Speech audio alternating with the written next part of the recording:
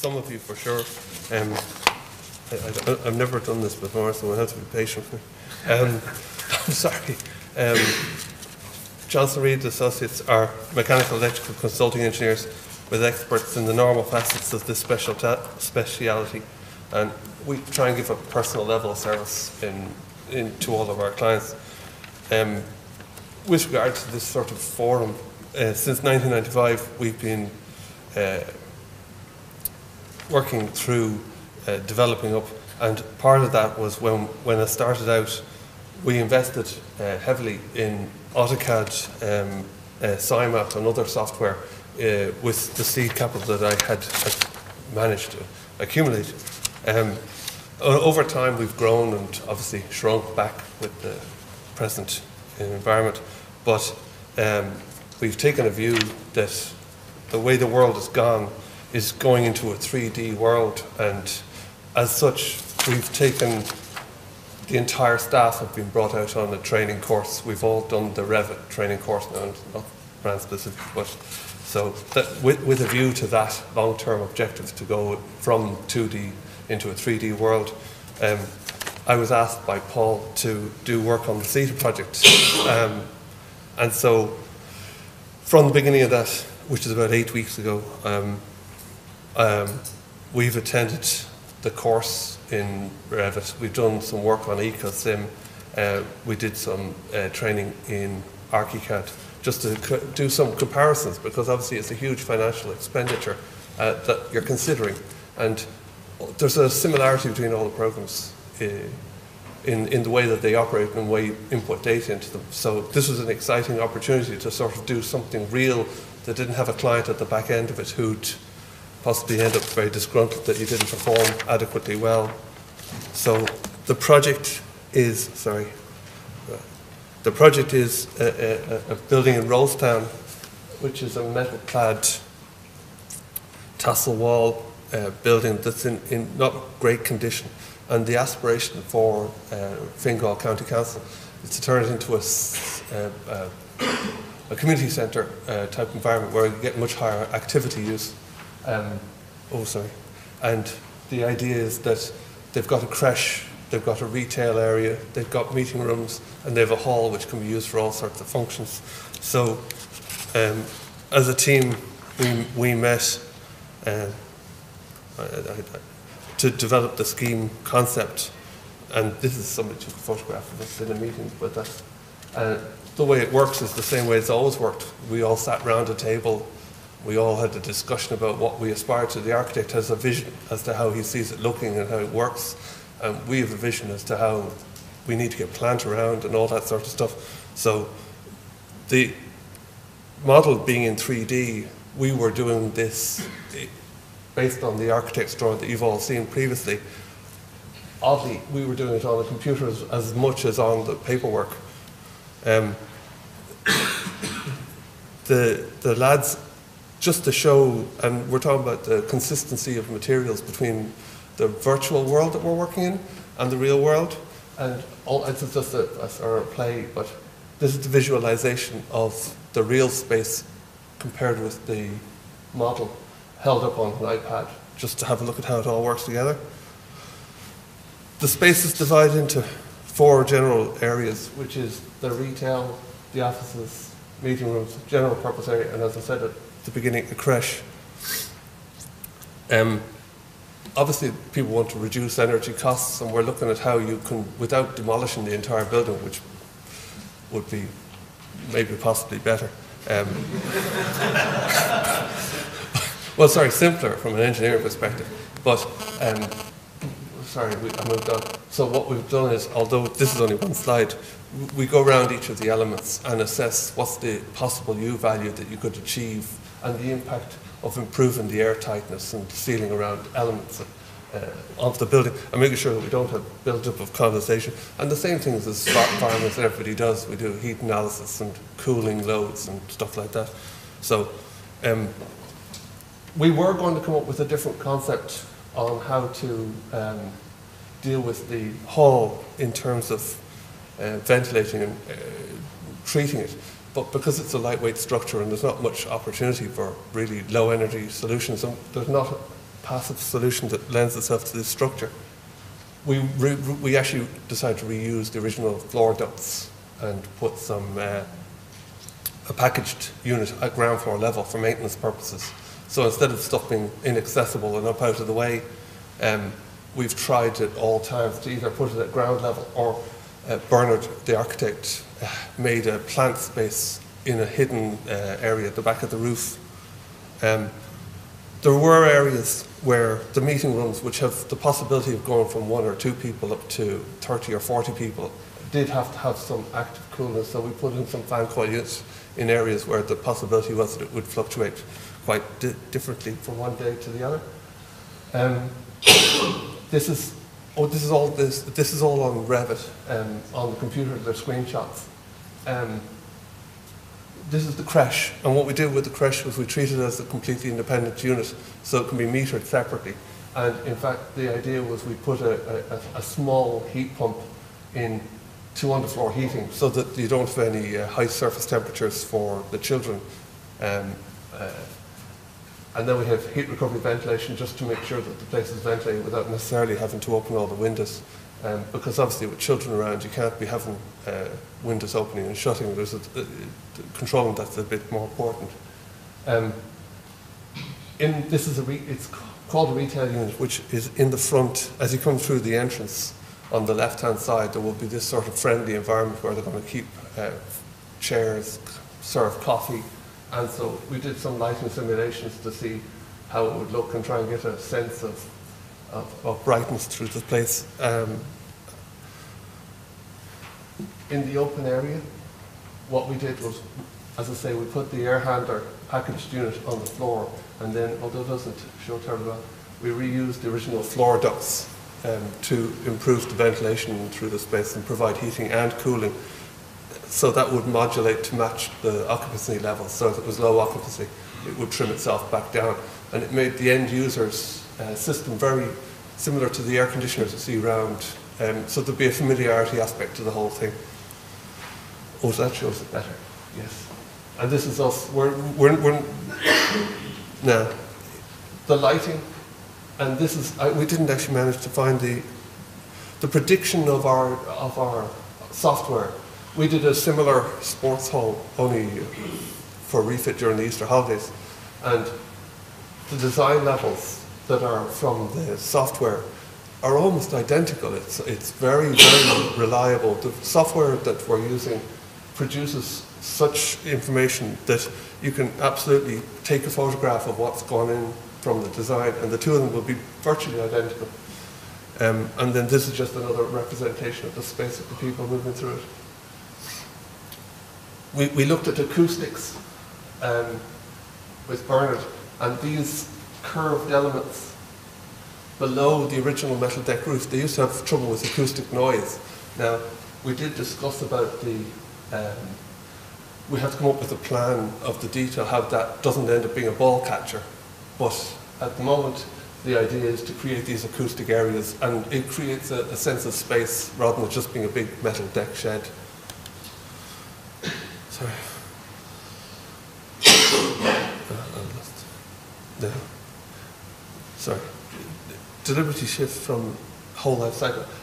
We did look at how, for example, where everything is located, and I'd say, although the solar panels are supposed to be angled up, um, there's a deck area there, and below it directly is the plant room.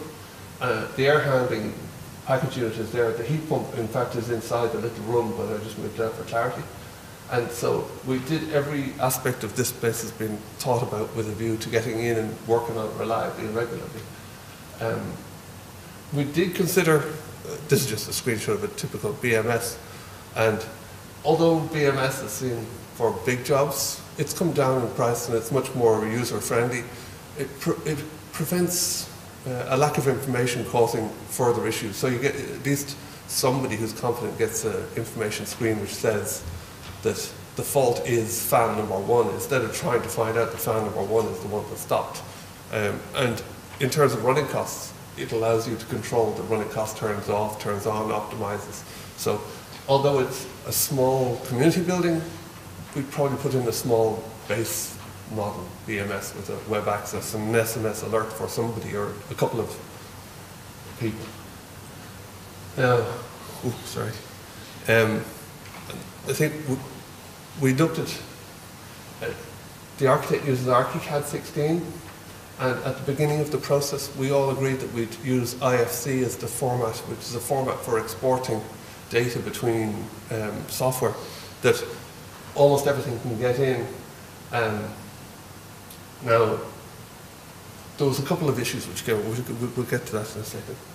And what happens is the image that you've seen at the beginning looks perfect, transposes into Tekla, BIMsight, and Solibri looks perfect. And then we get on to, it won't go into Hevacomp. Hevacomp wants um, the GBXML, as you know, and, and uh, IFC does go into Revit. Now, um, this is the, because I'm not an expert in Revit, and none of us are, unfortunately, but this is sort of an eye-opener of the risks that are associated with this software. Um, this wall is the source, of, a source symptomatic of this one here. And it caused me weeks of, of grief because, in fact, in a normal project, I'd have just done a CAD drawing and brought it to Hevacomp. Oh, no, no, fine. Yeah. So, um, and the other thing you'll see is the you can see the window, and the window exists in the database, but in fact, the, there's, there's something blocking it. Now, um, I spent ages trying to figure this out, and eventually I went down to the trainers in Paradigm, and he explained to me that when you look at this wall in terms of information, it's three walls, and on top of it is a tiny little sliver of a cavity which doesn't, sorry, which, which doesn't show. I mean, it's useless in the sense that the information that you're being given on the screen is very poor at reinforcing what the issues are. Um, so the only way you can find the thing that's, the wall when the roof was cut off should have popped up like this one, the vertical one. So the wall should have popped up to meet the next level, and it didn't. And the only way to find it is to go into 3D and move your mouse ever so slowly over the surface. And eventually you can sort of find it. Delete it and the wall pops up. So this is only symptomatic because in fact it took me weeks to get the model in. Um, now of course that's a lot to do with the fact that I'm not an expert now, don't, don't pretend. But what's interesting about Revit in retrospect after my experience is that there's a lot of these errors which are uh, instances things not cutting anything. And the, the, this reference A2550 is actually, actually turns out to be a wall reference in the architect's model. And eventually what we did was we sat with the two softwares beside each other to compare the errors that we were getting to the model so we could have, uh, try and tease out. And over time, in fact, what we did, we, we got this to the point where instead of having a thousand errors when it came in that it only had two or three hundred errors and arrived in, you know, reasonable robustly. Um, and it was never quite perfect, it never came in perfectly, but it came in quite well. Um, the next one is Revit refused to have anything to do with the ISD file in the beginning. I mean, it just wouldn't even take it in. And so, I, as I said, we were trying three softwares at the same time. And um, this is Bentley AECOsim, um, because I have Bentley Hevacomp and I've got licensing, so it was only matter. And it's quite similar. But this is what it saw of, of Bernard's model. Uh, with the same issue, the, the, the same little tiny errors. And those are, these are the, these are the screens and the doors, which is all it is. GBXML export. Now, and the, the, the odd part is that the problem that started at the beginning was the same problem that proceeded through, in a way, uh, I'd restart because the fault, and this is part of what I thought I'd learned and shared with you all, was that you're better off actually just start and get the model perfect. There mustn't be an error on the drawing or the model um, of any kind because there's the tiniest error. It's cumulative, it keeps traveling along. And so we have this model here. Um, now, one of these is the model, and you can see this random building that's arrived on the right-hand side. one of them is modeled using spaces, and one of them is modeled using uh, materials. And so there's two versions you can export from Revit. And the, the, the, the materials uh, one came out far, far better and arrived. Now, this is, this is what the building looks like in Hevacomp, and Hevacomp just wouldn't have anything to do with it. Uh, so, as I say, this is spaces, sorry, this is materials, and this is spaces. And obviously, we, we've tidied that up over time, and, actually, we now have a proper model that looks very similar in context to the um, ArchiCAD drawing. Um, these are just the focus on removal waste of time. Well, unfortunately, we wasted an enormous amount of time. Um, I mean, I've all weekends and nights, and every morning I go in extra early just to try and get on top of this. But I'm determined to learn how to do all this, so it comes with a cost. Uh, and we've talked about cost. There is a cost. There's a very big cost, um, and that's fine. So there's been presentations to clients, and the thing I know it sounds really the thing that sold me on this, first of all, is it's definitely the way it's formed. A lot of the jobs we're getting in are 3D. The architects are need 3D model. The ability to show people in real time, you said about that, yes, exporting Excel files and spending hours turning it into something readable is horrible. And you can do little fly-throughs. Like, even on my phone, you can do sections and views and bring somebody up and turn stuff on, turn stuff off. It's it has to be the way forward. If you can show somebody what they're going to get. Oh yes, online discussions. We've had online discussions, which are actually really, uh, obviously disconcerting, like this is too. But this is, somebody took a photograph while we were, all of us were online, but I was able to turn on my computer and show them really what I was doing. Instead of having a paper, piece of paper, and say to them, it looks like this one minute, it looks like that the other one. This, this process was reversible and repeatable, so the fault was consistent.